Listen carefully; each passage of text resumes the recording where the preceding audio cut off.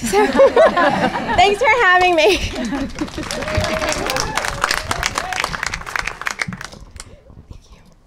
So, a couple years ago, my daughters asked me, they were like, Mom, we need you to take us and our business partners to the farmer's market to sell our products. And I was like, what is happening? You are seven and nine. You do not have business partners. and they were like, no, we do. And they went on to explain to me how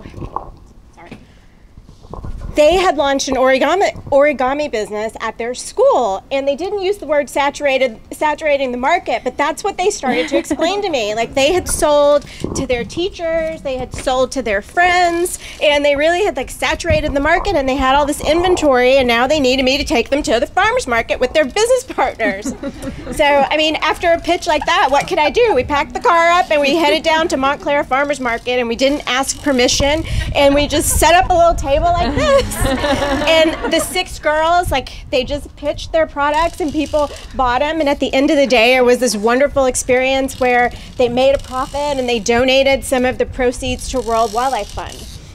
It's a great experience. And a few months later, we moved to a new neighborhood and we thought, well, we can do this again and maybe we can meet some new people in the process. So we put this note up on Facebook community for the area that we live in and said, Are there other girls that either have a business or you want to get one kick-started? Come join us at the farmer's market, like in the new area that we live in. This is like through the tunnel. So we put it up and we're like, maybe we'll get a dozen girls, we'll go do it again. 50 girls signed up.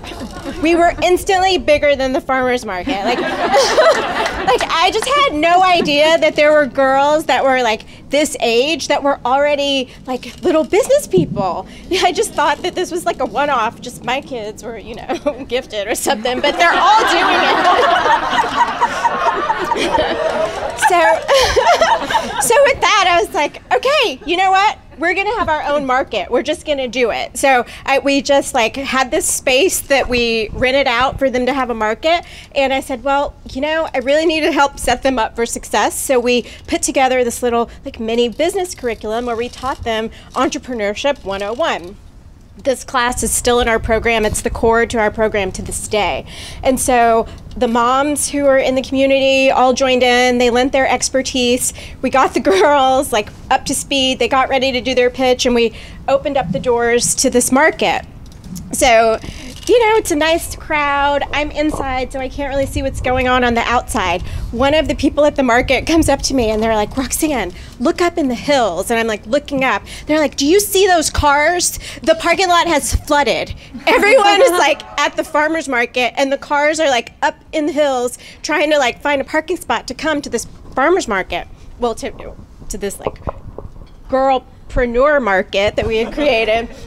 And so that day, 400 people came through and shopped. And so it wasn't necessarily like the number of people that was so impressive. Can you just imagine that for these little girls, 400 people came through. That meant that they delivered hundreds of pitches. And so, even for the most introverted girl, by the time you delivered a pitch a hundred times, it's going to be rolling off your tongue with eloquence. And so, I just, at that moment, I was like, they are like developing these leadership skills, they're building their confidence, and they don't even know. And it's just happening organically. And as a mom of girls, I am keenly aware of all the gaps that exist, you know, from the wage gap, the confidence gap. I know that between ages 8 to 14, girls lose 30% of their confidence. They're at risk at losing that much. And so the fact that here we are, these girls are organically right in that sweet spot of 8 to 14, and here they are pitching their products. And at the end of the day, one of the things that we taught them was you really have to think about you know, your personal finance. What are you going to do? You're going to go shopping after you get them? No, we have to plan this out. You need to think about how much are you going to reinvest in your business? How much are you going to save? How much are you going to earmark for something special that maybe you want to buy? And how much will you donate to a cause or a charity that you care about? So by the end of the day, you know, they're earmarking their profits and this funny thing happens. They start to go around and they start to shop. And it's products like this, right? Like pride bracelets. Um, these are the most recent. So there's like, let's see, BLM. I stand with AAPI. Um, just all this stuff, and it all goes. A lot of the proceeds go back to charity. And at the end of the day, they have their money, and I'm gonna put the mic down. They start doing this. I want all. Of, I'll take one of each. they don't have to ask permission. They don't have to have allowance. And they're just like so proud. And I thought their confidence is through the roof. And my mind was blown. And at that moment, that was what I knew. Like we have to like cultivate these girls' entrepreneurial spirits in like a real and like just a professional way and give them the resources that they need. And so at that time, that was when I founded Girls Crushing It with the mission of empowering girls to flex their leadership muscles through entrepreneurship. So,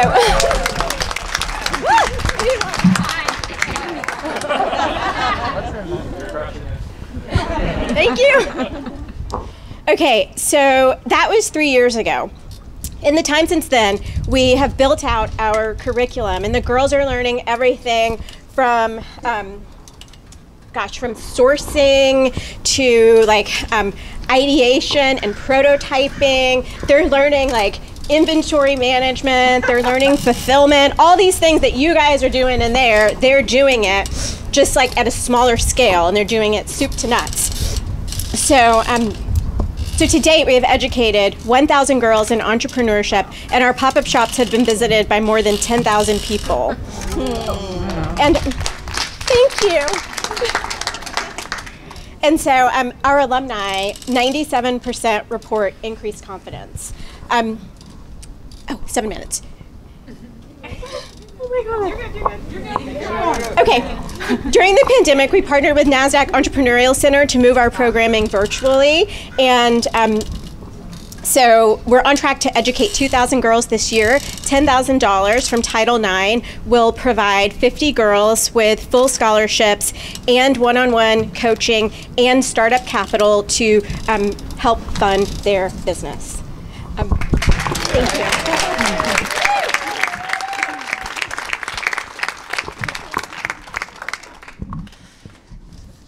So, this is rad. Um,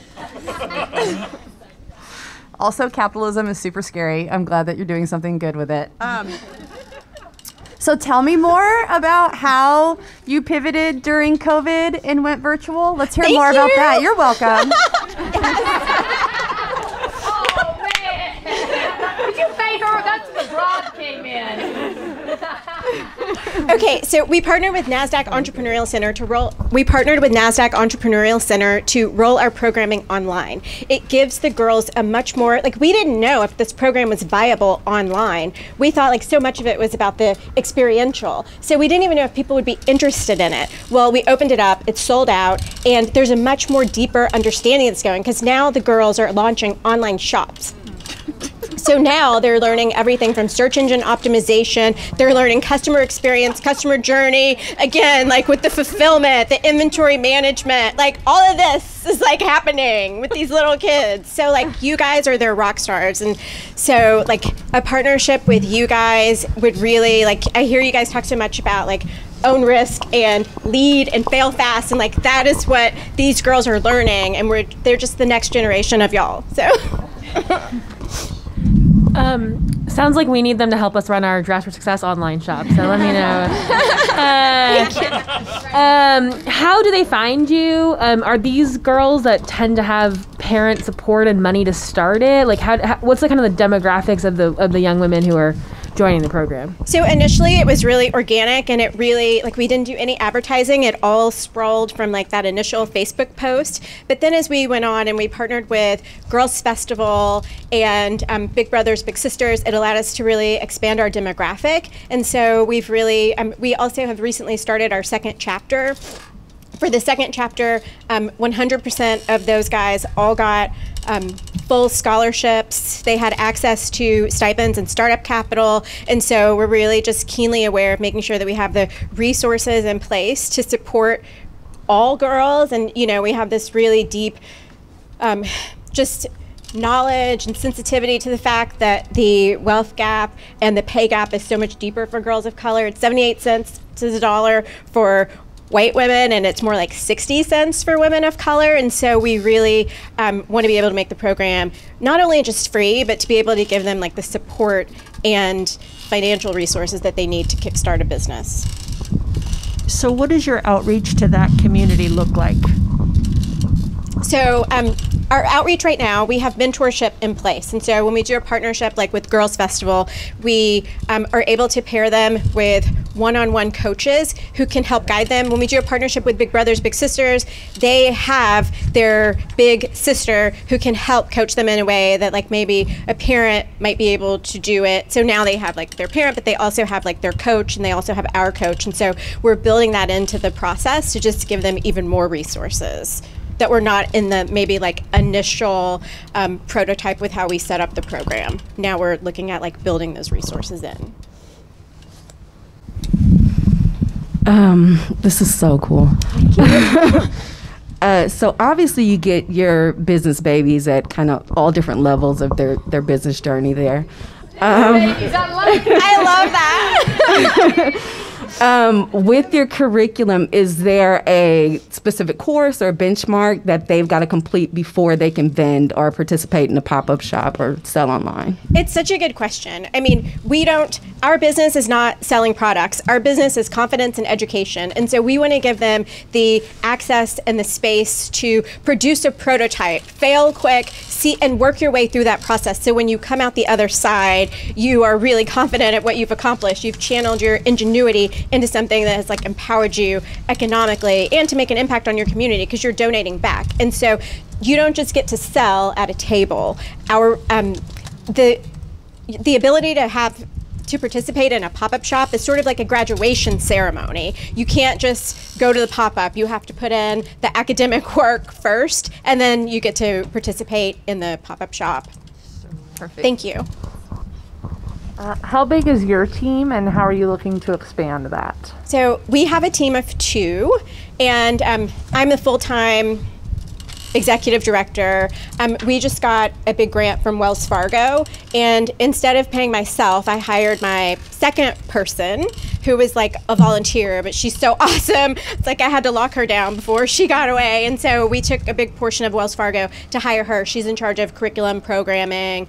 Um, she can just, she's kind of like a pinch hitter. She can do it all. And so um, we also are really, um, we have this pipeline of girls that are coming through and so we really tap into their leadership skills so that they then are guest facilitators. They're sharing their stories. Like we have one girl who invested in a mutual fund and she comes back and tells her story of like her financial planning.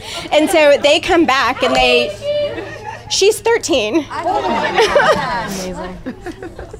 yeah and so we are building also like we're building leaders and facilitators who are teenagers as well Maybe she can clinic us. yes she would love that She would. You know, I got to teach them.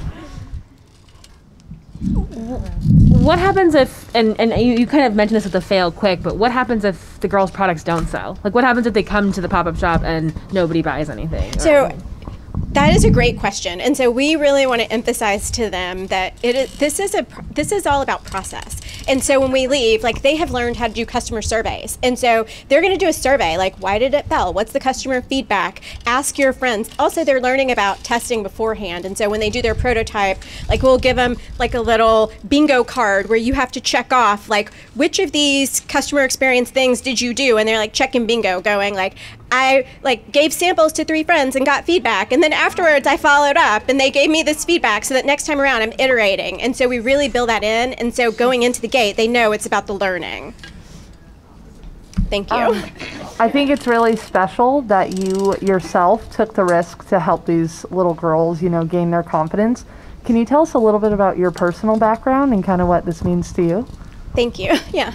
So my background is in public relations, and so I started off. Um, I'm originally from the South, so I was in Texas, and I did public relations for energy and oil and gas companies, and then I moved into the nonprofit side, and I did corporate relations for um, a theater and an art museum. So I have like the corporate experience, and then I also have the nonprofit experience, and so it sort of put me in a position to be able to do a little bit of a lot of different things. And then I also was an entrepreneur for the last seven years. So, thank you.